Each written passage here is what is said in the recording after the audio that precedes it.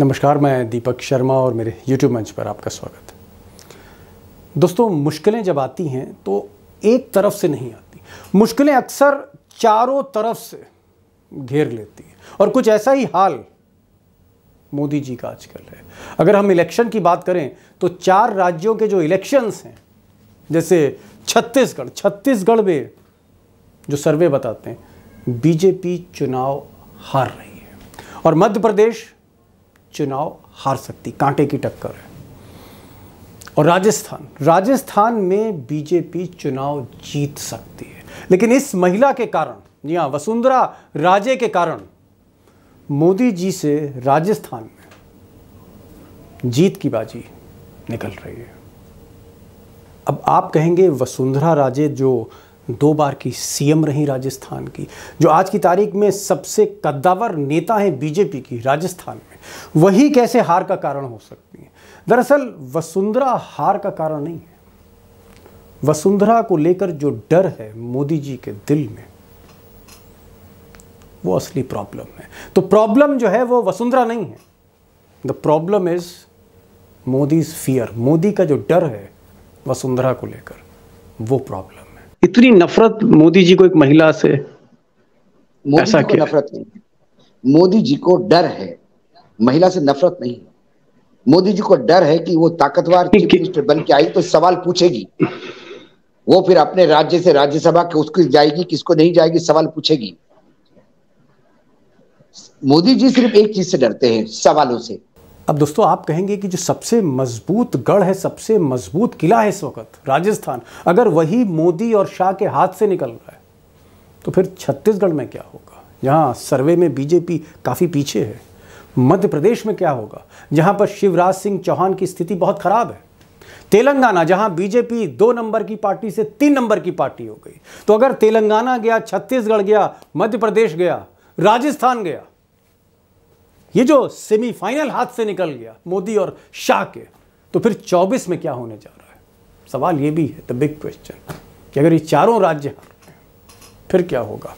लेकिन इस खुलासे से पहले बात इन्हीं पर। लेडी नंबर वन जो मोदी जी के लिए मुसीबत है या यूँ कह सकते हैं कि ये जो रानी साहिबा हैं, इन्होंने नाक में दम कर दिया है मोदी और शाह के। आखिर क्या वजह है कि मोदी जैसा नेता छप्पन इंच की छाती वाला, इस महिला से इतना घबराता क्यों? इतना क्यों डरते हैं मोदी? वसुंधरा राजे से। पहले इस सवाल का जवाब, फिर बड़ी खबर की तरफ़। वसुंधरा राजे से क्यों घबराते हैं नरेंद्र मोदी? मोदी जी क्यों घबराते हैं? वो क्या डर है जो उनको सताता रहता है इस महिला को लेकर? अगर थोड़ा सा मैं रिकैप करूँ तो 2014 2014 से पहले मोदी जी भी मुख्यमंत्री थे बीजेपी के गुजरात में, और वसुंधरा राजे भी मुख्यमंत्री थी राजस्थान में। और एक तरह से आप कह सकते हैं कि बड़ा ज़बरदस्त कंपटीशन था। और कुछ लोग उस वक्त भी ऐसा lady chief minister Vasundhara Raje को, की जो रैंकिंग थी, कई इंडेक्स पे, मोदी से बेहतर और आप ये भी कह सकते हैं कि पार्टी में वसुंधरा का जो दबदबा था, मोदी जी से कहीं ज़्यादा था। और कुछ लोग कहते थे कि प्रधानमंत्री की रेस में ना सिर्फ़ शिवराज सिंह चौहान हैं, ना सिर्फ़ मोदी हैं, वसुंधरा भी रेस में है। ये एक कारण था कि कहीं ना कहीं आप कह सकते हैं कि मोदी जी तब से एक डिस्टेंस रखते थे वसुंधरा राजे से। पॉइंट नंबर दो राजनीति में सीनियरिटी कहीं ना कहीं माने रखती है और कार्डर बेस पार्टी में माने रखती है। वसुंधरा राजे मोदी जी से कई बरस पहले सेलिब्रिटी बन चुकी थी बीजेपी में। उनका जो करियर है, अटल जी के साथ का है, अडवाणी जी के साथ था तब वो मंत्री बन चुकी थी। तो या राजनीति की अगर आप बात करेंगे तो वसुंधरा राजे सीनियर थी और उस वक्त के जो नेता थे लाल कृष्ण अडवाणी या फिर मुरली मनोहर जोशी या फिर अटल बिहारी वाजपेयी। वाजपेयी और अडवाणी के काफ़ी करीब थी वसुंधरा राजे। और ये एक दुखती रख थी जो मोदी जी को कहीं ना कहीं परेशान करती रहती थी। सच्चाई दोस्तों ये भी है कि ये जो अदावत है या ये जो कोल्ड वॉर है, पर्दे के पीछे, भीतर ही भीतर, जो सुलगती चली जा रही 2014 से लेकर 2023 तक, धुआँ दिख रहा है राजस्थान में। बहुत से ऐसे प्रोग्राम्स हैं जहाँ वसुंधरा राजे जाती ही नहीं और मोदी जी और वसुंधरा राजे फॉर्मेलिटी के तौर पे औपचारिकतावश मंच पर आ तो जाते हैं। बातचीत नहीं होती। वो बॉडी लैंग्वेज नहीं है। मिलते भी हैं तो एक बेरुखी आपको दिख सकती है तस्वीरों में। तो कहीं ना कहीं आप कह सकते हैं जो रिश्ते हैं, उस पर बर्फ़ जमी हुई है। और शायद ये बर्फ़ पिघल ना पाए। और ये बर्फ़ अगर पिघलती नहीं है it's advantage Ashok Gehlot advantage Congress. और सबसे बड़ी बात कि ये जो डर है, मोदी जी यूँ ही नहीं घबराते किसी से। घबराते इसलिए हैं कि अगर वसुंधरा राजे तीसरी बार चीफ मिनिस्टर बनती हैं तो एक ताकत के तौर पर उभरेंगी।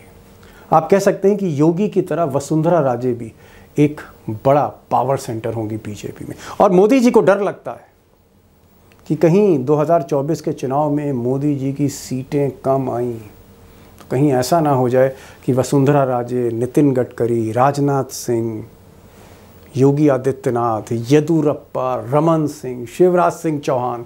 नाम लेते जाइए। मेनका गांधी, वरुण गांधी, सुब्रमण्यम स्वामी। एक कतार है बीजेपी के भीतर,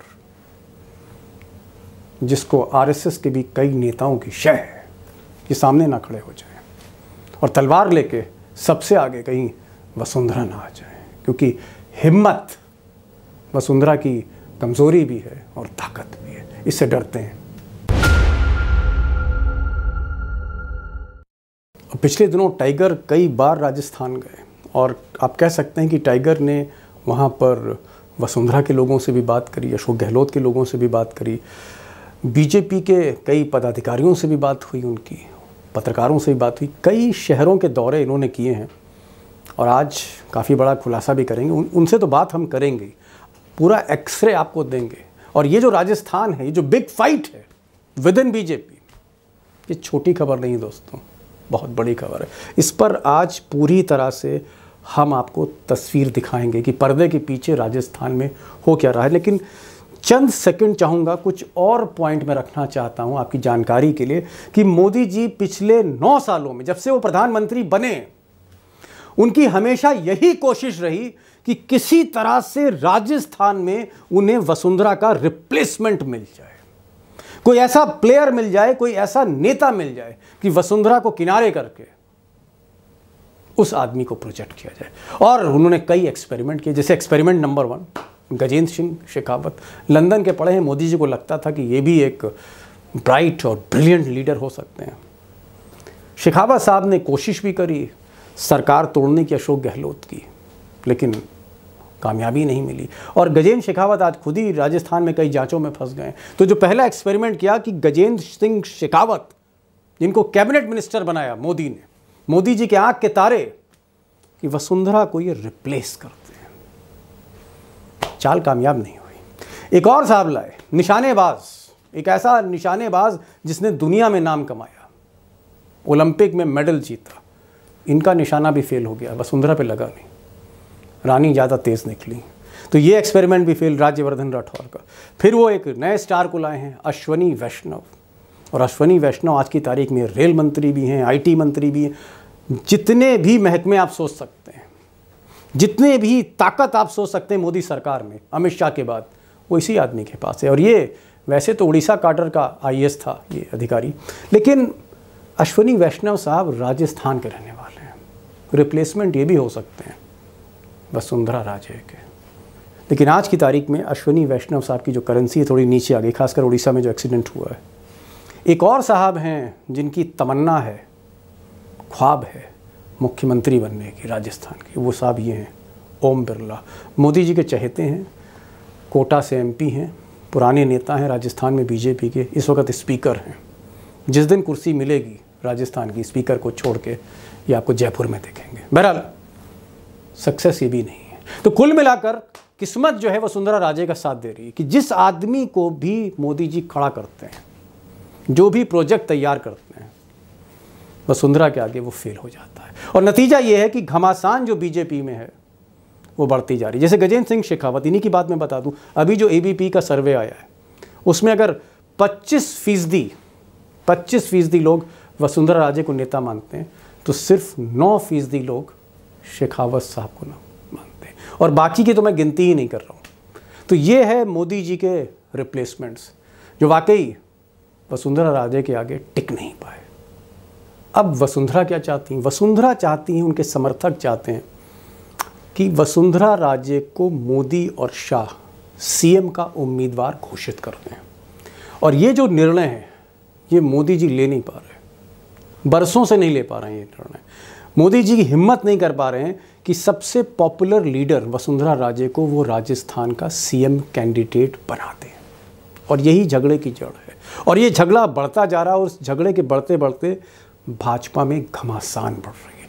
और शायद इसीलिए लोग कह रहे हैं, जानकार कह रहे हैं कि ये जीता हुआ स्टेट मोदी जी के हाथ से निकल सकता है, दूसरी बार निकल सकता है। और अगर राजस्थान निकला तो फिर सोचिए मध्य प्रदेश और छत्तीसगढ़ तेलंगाना की बात ही ना करिए। और ये चारों स्टेट निकले तो फिर मोदी जी 24 में कहाँ खड़े हैं? सवाल ये भी बहुत बड़ा है। और शायद इसीलिए इस बड़े सवाल के लिए हम चलेंगे टाइगर के पास। टाइगर इसलिए इंपॉर्टेंट है आज क्योंकि राजस्थान का तूफ़ानी दौरा करके लौटे हैं। और उसी टाइगर वाले अंदाज में आज उनसे बात होगी। वसुंधरा वर्सेस मोदी। क्या वाकई बीजेपी राजस्थान हार रही है। और क्या वाकई बीजेपी चारों स्टेट भी हार सकती है? और क्या 2024 में इन चार राज्यों से मोदी और शाह के लिए खबर अच्छी नहीं? सीधे चलते हैं अशोक वानखेड़े, टाइगर के पास। टाइगर, पहला सवाल, क्या राजस्थान अब सीधे सीधे, अगर मैं बीजेपी की बात करूँ, बीजेपी दो खेमे में बट गई। एक वसुंधरा राजे का खेमा है और एक नरेंद्र मोदी का खेमा। और ऐसी लड़ाई, ऐसी घमासान, जो शायद यूपी में योगी और अमित शाह से कहीं ज़्यादा भयावह है, कहीं ज़्यादा भयानक है। ये जो लड़ाई है, जहाँ एक महिला झुक रही रही है, नरेंद्र मोदी पिछले, आप कह सकते हैं कि 10 साल से उनकी लगातार कोशिश रही कि वसुंधरा राजे को अपने कब्जे में ले लूँ, लेकिन नहीं ले पाए। और मैं अभी आपको एक ट्वीट बताऊँ उनका। उन्होंने ट्वीट में लिखा है वसुंधरा राजे ने, जो मैसेज मुझे लगता है मोदी को है। नारी जब गरजती है नारी जब गरजती है इतिहास बदल देती तो क्या वसुंधरा राजे मोदी का इतिहास तो नहीं बदलने जा रही? देखिए दीपक भाई 2014 के बाद जो तमाम क्षेत्र थे क्षेत्रीय क्षेत्र थे बीजेपी के क्योंकि भारतीय जनता पार्टी ये संगठन बेस्ड पार्टी मतलब इसमें संगठन हावी रहता है हमेशा सरकार क्योंकि संघ से संगठन चलता है। और संगठन में क्षेत्रीय क्षेत्रपों का ज़बरदस्त वजूद होता है। 2014 में आने के बाद नरेंद्र मोदी ने सारा केंद्रीय लेवल पे सब सेंट्रलाइज किया गया। और ऐसा एक भी क्षेत्र ज़िंदा नहीं रखा मतलब राजकीय दृष्टि से कि जिसे जिसके वजूद था। एक सबसे आखिर में कर्नाटक में भी येदुरप्पा को जब निपटाया इन्होंने तो उसका खामियाजा भुगतना पड़ा।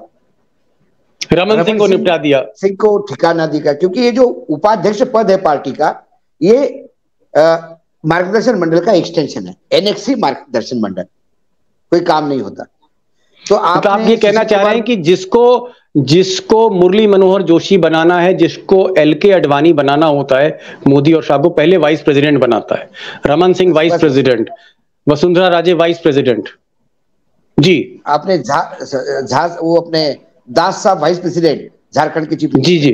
जी जी जी। तमाम चीज़ें। तो रमन सिंह निपट गए।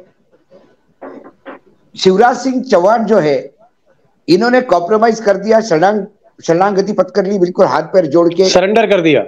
सरेंडर कर दिया तो अभी वो सत्ता में बने हुए हैं। फिर उसके बाद वो एटीएम करके उपयोग में भी आए आने लगे हैं। जब भी एक पार्टी के बड़े नेता जाते हैं हवा मचता है साल एक बार जाते हैं वसूली करके आते हैं। लेकिन राजस्थान ऐसा एक राज्य है जहाँ रानी साहब ने अपना वजूद बना के रखा है। क्योंकि वो ज़मीन की नेता है। उसका वजूद है राजस्थान में। राजस्थान में पिछले बार जब नारे लगे थे कि मोदी तुझसे बैर नहीं, वसुंधरा खैर नहीं, ये नारे किसने लगवाए थे? ये जनता के नारे नहीं थे।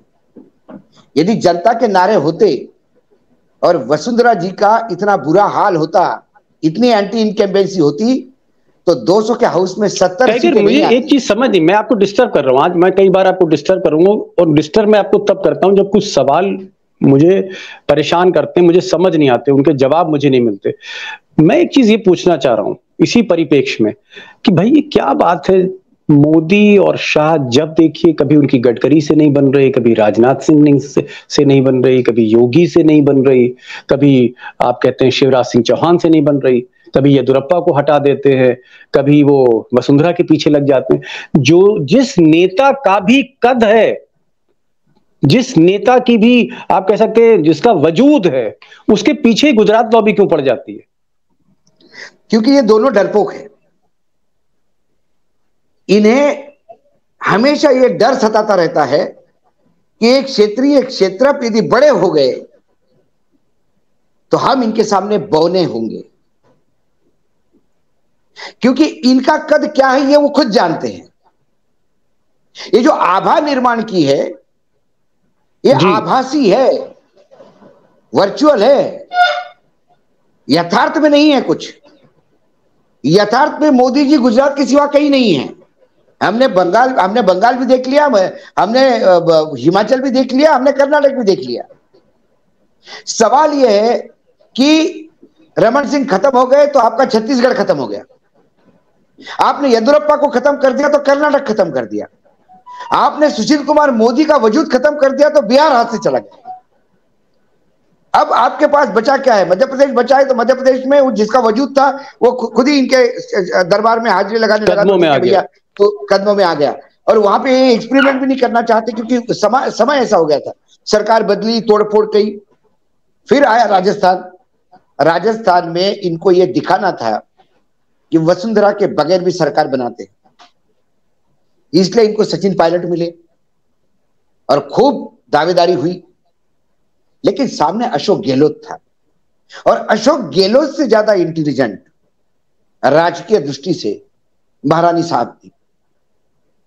उन्हें, उन्होंने बीजेपी में ऐसा खेल कर दिया कि ये सचिन पायलट आ भी जाते तो बीजेपी में उनका कुछ नहीं होता। मैं बताऊँ आपको यदि मैं कुछ अब स्टेटमेंट करूँ तो शायद आपको आश्चर्य लगेगा दीपक भाई। यदि केंद्रीय नेतृत्व ने ठीक साथ दिया होता तो वसुंधरा पिछली बार ही वसुंधरा जी रिपीट हो जाती। कई लोगों के टिकट मुख्यमंत्री बन जाती। वसुंधरा के कई लोगों के टिकट बदले गए। चलिए टाइगर आपकी मैंने बात मान ली कि वसुंधरा राजे का क्रेज राजस्थान में नरेंद्र मोदी से ज़्यादा है। लेकिन सपोज़ करिए, अगर मोदी जी वसुंधरा राजे को मुख्यमंत्री का चेहरा नहीं बनाते, अगर मोदी और शाह वसुंधरा राजे को चीफ मिनिस्टर फेस नहीं बनाते, डिक्लेयर नहीं करते कि साहब, ये महिला हमारी नेता होगी, ये महिला हमारी मुख्यमंत्री की उम्मीदवार है, अगर ऐसा नहीं करते तो फिर राजस्थान में होने क्या जा रहा है? नतीजा फिर क्या होगा? मैं आपको बताता हूँ, इन्होंने क्या किया? इन्होंने तेलंगाना की होप छोड़ दी, छत्तीसगढ़ को नमस्ते कर दिया। मध्य प्रदेश में स्वयं अमित शाह उतर रहे हैं पूरे ताकत के साथ। सत्ता को पार्टी वापस लाने के सत्ता में।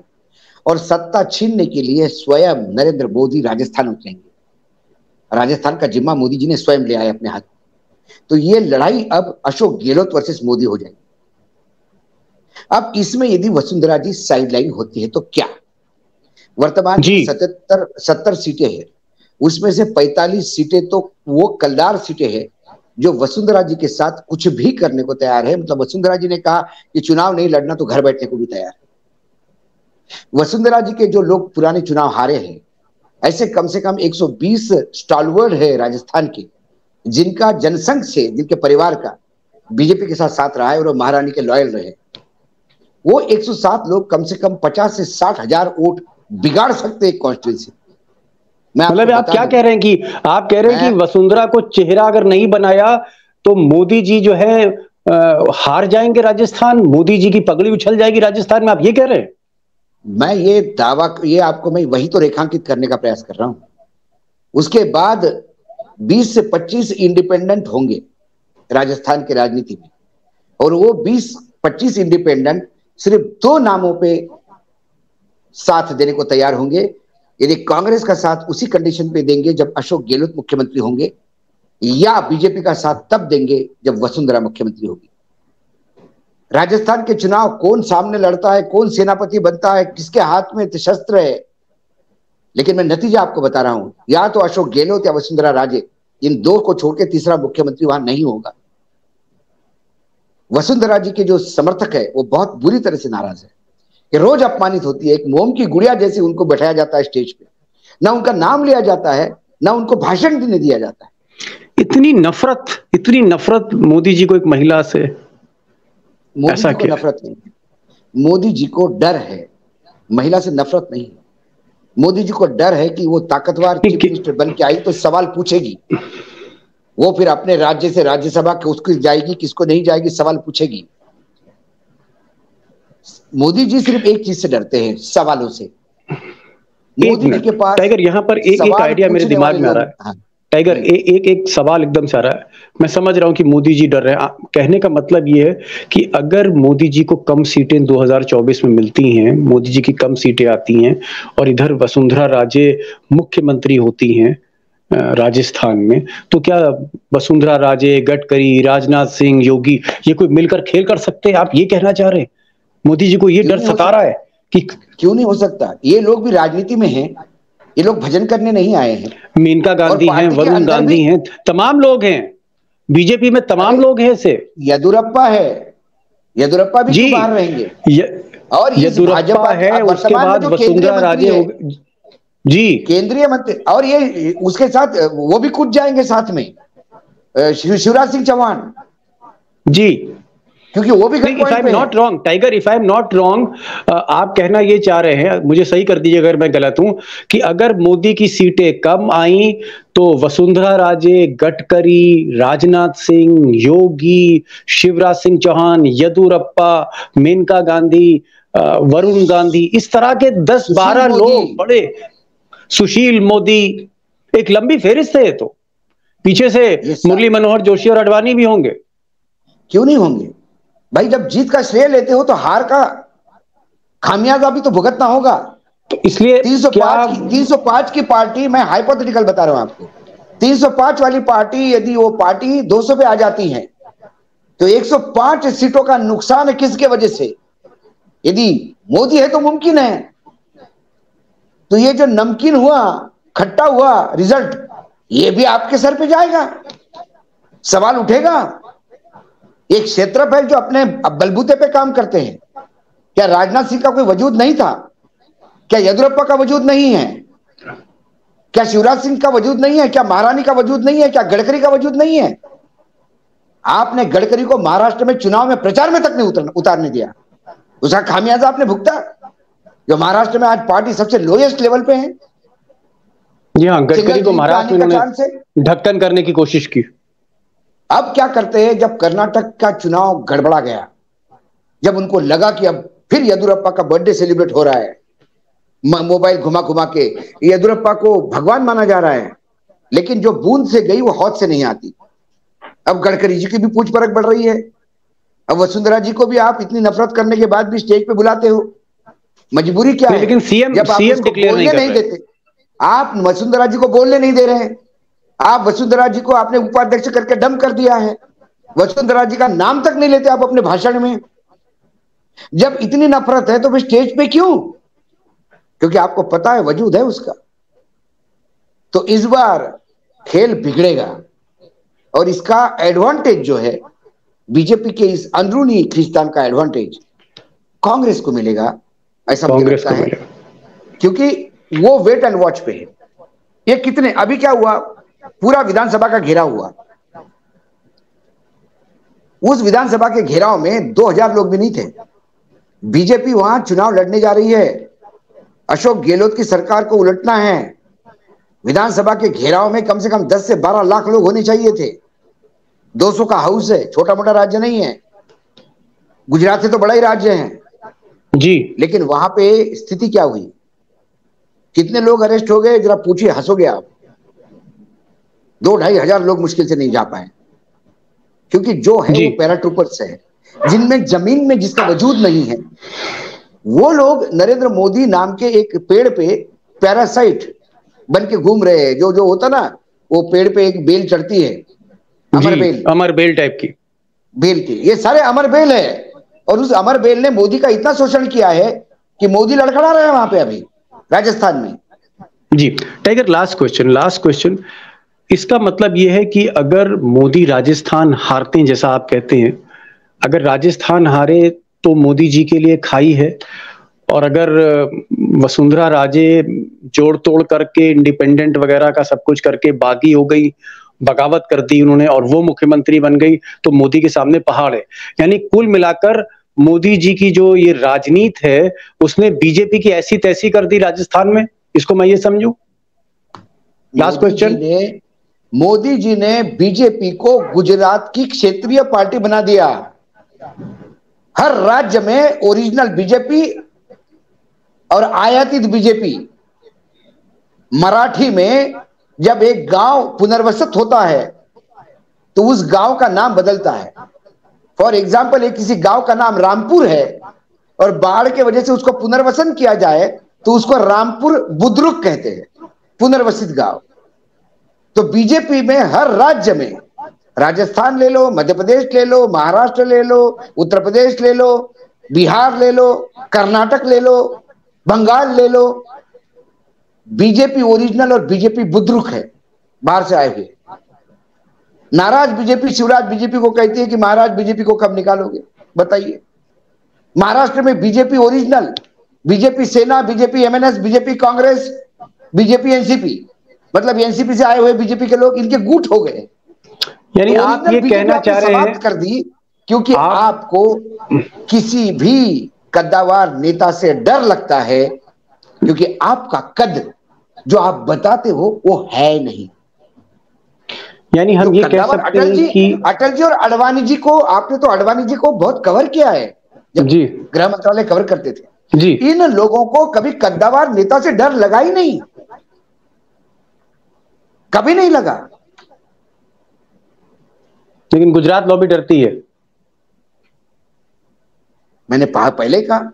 नहीं टाइगर आपने आज सही कहा कि कहीं ना कहीं मोदी का जो डर है कि वसुंधरा राजे अगर मज़बूत होती हैं वसुंधरा राजे अगर ताकतवर होती हैं तो उनके लिए वो 2024 में संकट बन सकती हैं। अगर मोदी जी की सीटें कम आई तो वसुंधरा राजे तमाम ऐसे जो नाराज़ भाजपा के लोग हैं जिनको गुजरात लॉबी ने किस्तों में धीरे धीरे उनका कद छांटा है। चाहे वो गडकरी हो, चाहे वो राजनाथ सिंह हो, चाहे वो रमन सिंह हो, चाहे वो शिवराज हो, चाहे येदुरप्पा हो, ये जो बागी बीजेपी है, ये कहीं ना कहीं घेराबंदी कर सकती है मोदी की। और इसी डर से वो वसुंधरा राजे को उम्मीदवार नहीं बना रहे चीफ मिनिस्टर का, जबकि वो जितने भी सर्वेक्षण हुए हैं, सर्वे हुए हैं, उसमें वो आगे हैं। मेरा ये जो डर है मोदी जी की, ये ताकत भी है और वीकनेस भी है। टाइगर आप आए और आपने जिस तरह से रोशनी डाली कि राजस्थान ये जीत का सेहरा नहीं मोदी जी के लिए ये एक ऐसी दुखती रग बनती जा रही है कि मोदी जी अभी तक निर्णय नहीं कर पा रहे हैं कि वहाँ चीफ मिनिस्टर का उम्मीदवार किसे घोषित करें। बहरहाल, जो भी डेवलपमेंट होगा, हम अपने दर्शकों को, अपने ऑडियंस को ज़रूर बताएँगे। टाइगर, आपने समय निकाला, आप आए, आपने रोशनी डाली इस प्रोग्राम में। आपका बहुत बहुत शुक्रिया। Thank you so much